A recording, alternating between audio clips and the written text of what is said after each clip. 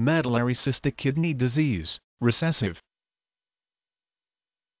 Medullary cystic kidney disease, autosomal recessive, a childhood genetic kidney disease in which there is progressive symmetrical destruction of the kidneys involving both the tubules and glomeruli, characteristically resulting in anemia, polyuria, polydipsia, isosthenuria decreased ability to concentrate the urine, progressive renal failure and death in uremia. Hypertension and proteinuria are conspicuous by their absence. The chronic kidney failure affects growth and leads to short stature. The age at death ranges from around 4 to 15 years. The disease is also called nephronophthisis 1 NPH1 and familial juvenile nephronophthisis FJN. It is inherited as an autosomal recessive trait. It was first described by Guido Fanconi and his colleagues in 1951. The gene for the disease is on chromosome 2 which is region 2q13 and is designated NPHP1. It codes for a protein dubbed nephrocystin. About 70% of cases are caused by large deletions in the 2q13 region in both of the child's number 2 chromosomes. The deletions can be readily detected by a molecular genetic test using the PCR polymerase chain reaction.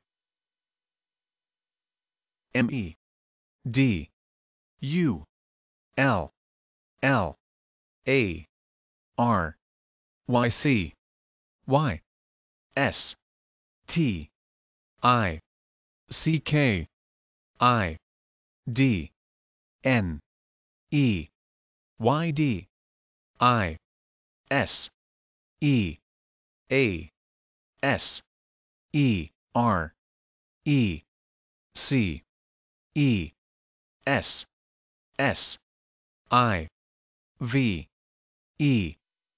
Medullary cystic kidney disease, recessive